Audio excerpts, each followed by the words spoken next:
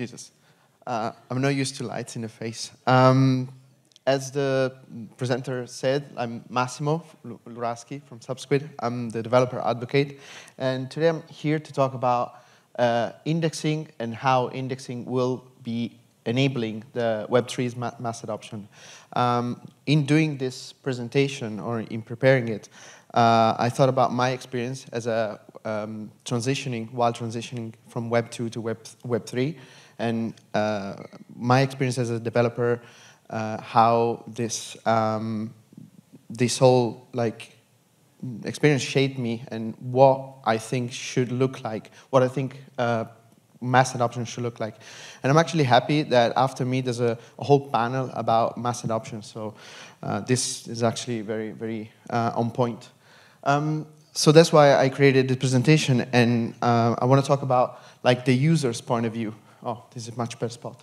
Um, the, for, for me, uh, as a gamer, most of all, and a, as a user of web services, I want to talk about like what happens when I use web services today, Web 2 web services. What we're trying to do here as a community in Dotsama, we're trying to substitute many of them uh, with the Web 3 alternative.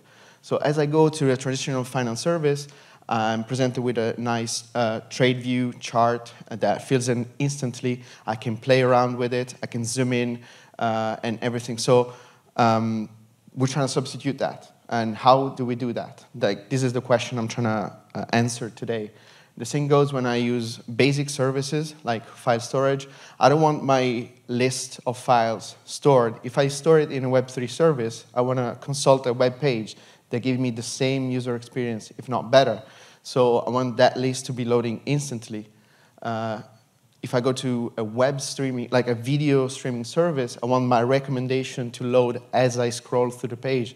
I don't want to wait for 10 seconds, like look at staring at a spinning wheel uh, for the recommendation engine to fetch data directly from the blockchain and present it to me. Uh, similarly, if I play a video game, gaming, I think, personally, as a fan um, of it, uh, is the next frontier, is the next, battle, next battleground for uh, crypto mass adoption. Uh, and when I go to play a game, in this case World of Warcraft, if I scroll through the auction house, like imagine in the future, this is like, these are all NFTs, these are all stuff that I play, earn, and potentially sell. Uh, and I want this uh, to have the same service, the same level of uh, refined experience that I find in everyday games today. Uh, and this is actually funny to me, especially this screenshot. I was listening to the, the other day to Zoe's presentation uh, about Phala World. She was presenting a lot of like World of Warcraft screenshot, and I was like DiCaprio meme staring, like pointing at the screen, uh, thinking about this. So it's nice to see that like this whole thing resonates across the uh, ecosystem. So it means that we're in tune. But let's talk about the tools. Like this is Polkadot.js, uh, well, this is the web app page. But if you want to build those services, this is what we have right now. Like, or this could be what we have right now. Imagine trying to re replicate that user experience only using this.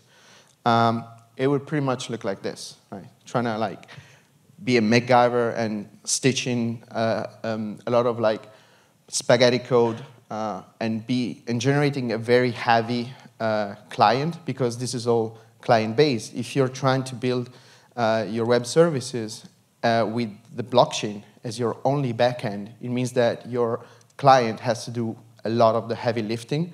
So it would basically be the, the diagram above where you're fetching data directly from the blockchain and you have to do a lot of heavy processing on the client.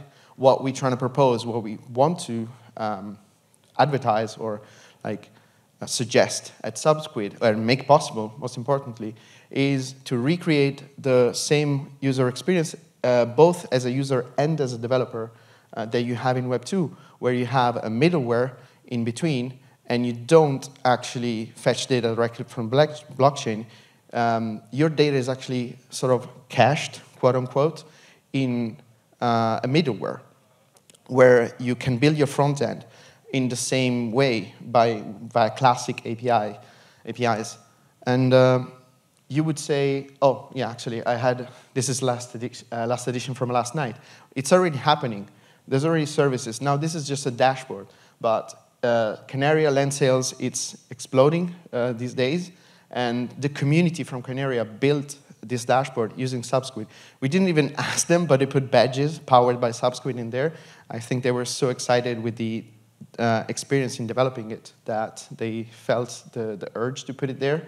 Um, um, personally, this is like sharing my personal experience as a dev advocate.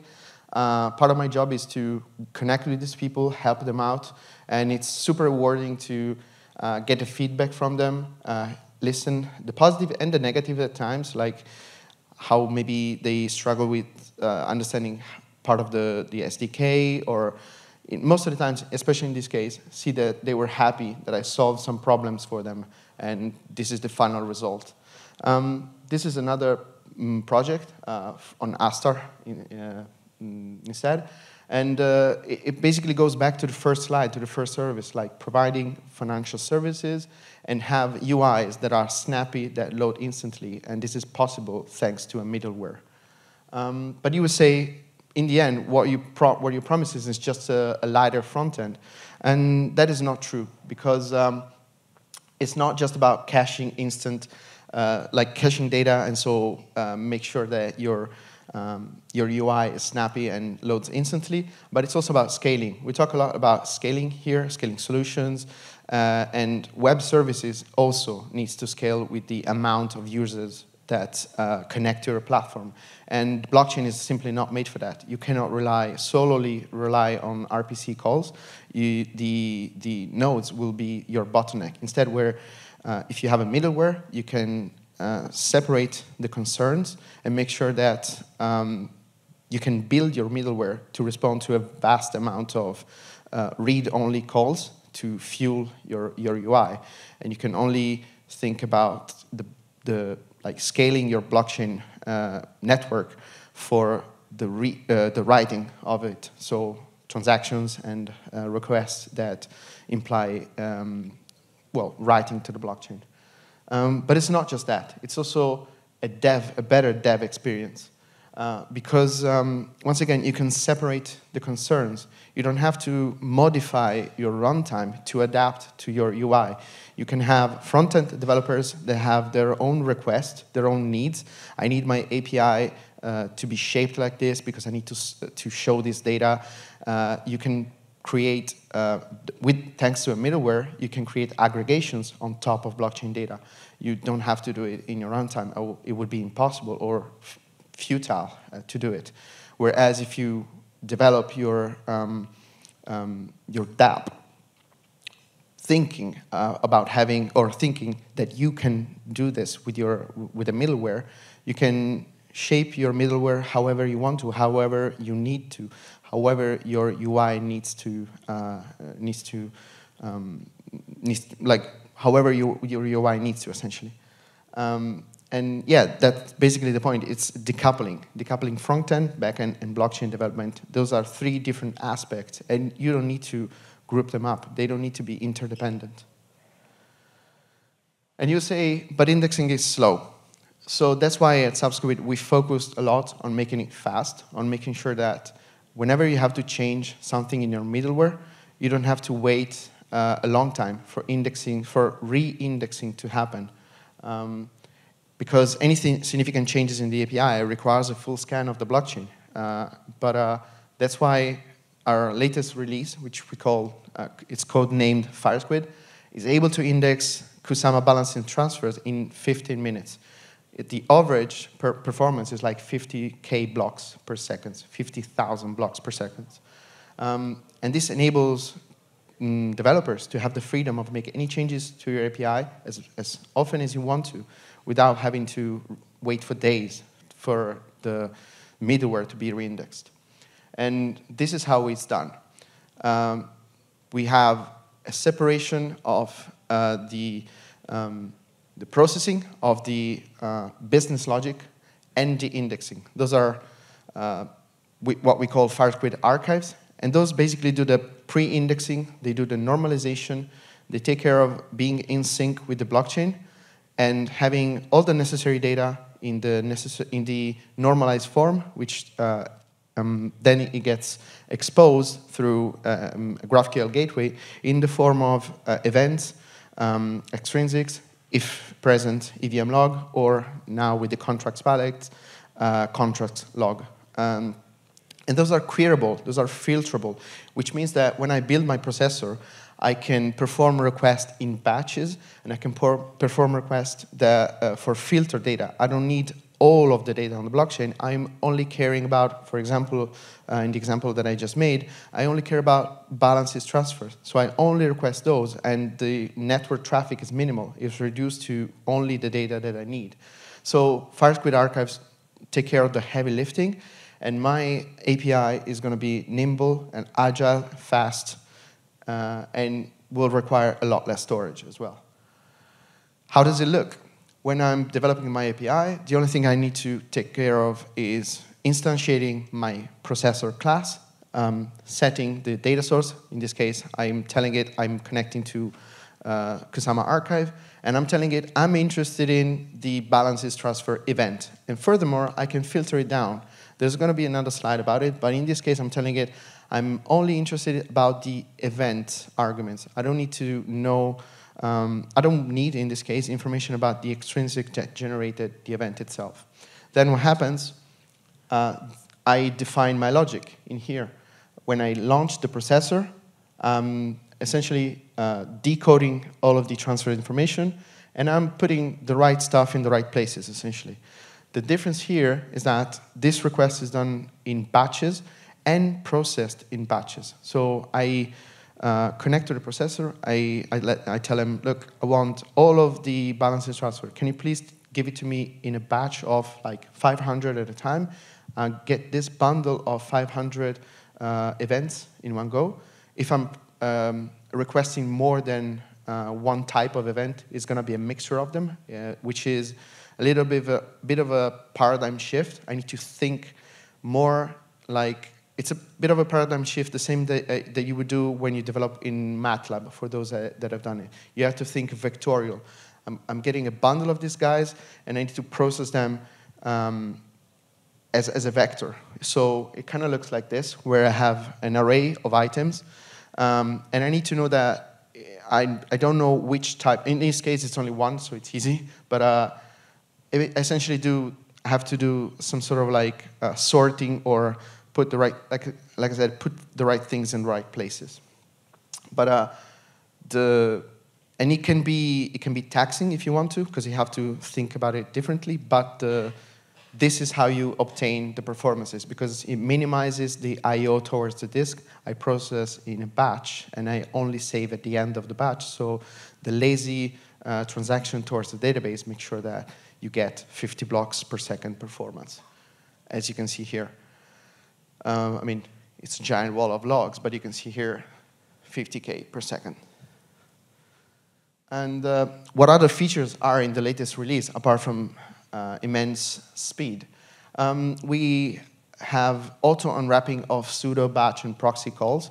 This is transparent to the, to the processor. Uh, I don't need to even know that it's happening because the archives do the heavy lifting for me. So in that case, I don't, what does it look like? uh, when, I, when I ask for calls, I have them directly. And those could have been uh, wrapped, like in the case of system remark. They could have been part of a batch all, uh, and normally they would have been hidden from me. I would have to ask for system remark, call and batch all, and then look into the extrinsic uh, batch all and see if it contained. In this case, the archive did it for me. I'm only requesting system remark, and I get exactly that one. Um, another, another thing is, uh, I, I, mentioned it earlier, but I can fetch and process only the data that I need. So if I request, like in this case, it's just a, a post hook, so every block I, am requesting to execute a certain function, but it doesn't matter. Uh, what I'm saying here is that uh, every time I encounter a block, I only uh, want to be given the system extrinsic success. So only the extrinsic that succeeded. I don't care about those that failed, and I uh, I want only only the um, the extrinsic um, signature data. So I can filter it down to have a minimal network overload. Uh, finally, but last but not least, actually, native support for WASM. I did a workshop yesterday. Unfortunately, it wasn't recorded, but there's going to be a demo. Uh, I'm probably going to record one on our YouTube channel, and we're going to put up a, an example repository. So yes, uh, Astar uh, has deployed a contracts pallet. It's available on, on Shibuya and Shiden, and we have a live uh, example of indexing WASM contracts. So we're so early, uh, in the in the ecosystem that uh, we had to deploy a sample contract, so it's not very interesting. But as soon as we like, we're in close relationship with the Astar guys. As, as soon as we have a live project, uh, I'm gonna make sure that we index that and show it to the community. Make sure that the community is aware that th there is this possibility. Uh, and you can see it for yourself. Uh, this should work. I haven't tested it, I have to admit but it leads to our template repository.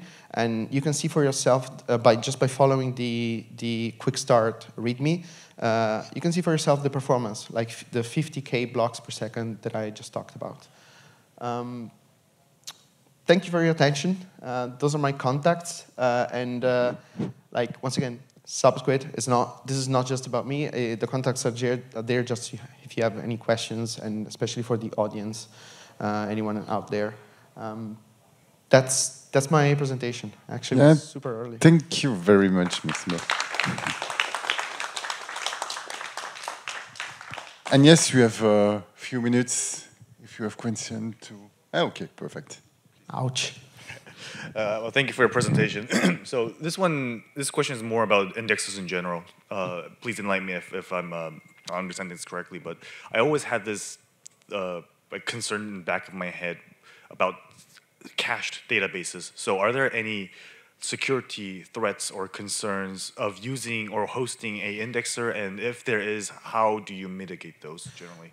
That, that's, um, that's something I haven't talked about, so it's nice. Uh, thank you for the question. So the archives that I talked about, um, those are, for now, managed by Subsquid, but it's just because we're not live yet. The ultimate goal is to create an, an economic system, an economic model that will guarantee that those will become a decentralized network. So infrastructure providers will come in and mm, deploy uh, an archive. We just have we just provide the code for it, the image. Uh, they will just deploy it wherever they want to host it, and they will have to. We, we're thinking about a system where they have to stake uh, tokens to make sure that they don't tamper with the data. And if eventually uh, something uh, fishy is discovered, we're going to slash their, their, their staking. So this is the mechanism, and I think we can build something uh, better. We were still like that. That is essentially besides develop, develop, developing the the product and performance. There's is probably going to be the main focus for Q3 and Q4 in the sense that, okay, staking is fine, but maybe we can do something more, something better to guarantee that, yeah, the data is not going to be tampered with and you can rely on it. We don't do that for the um, processors, for the, the API that you build yourself, because that's it, that is up to you.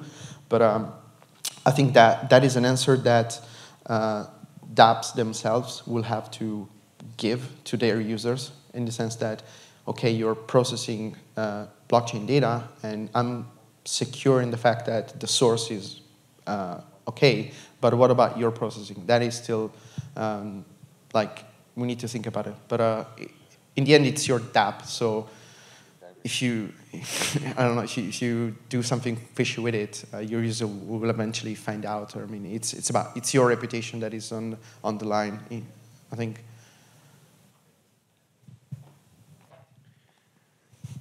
Any question? No, I think so.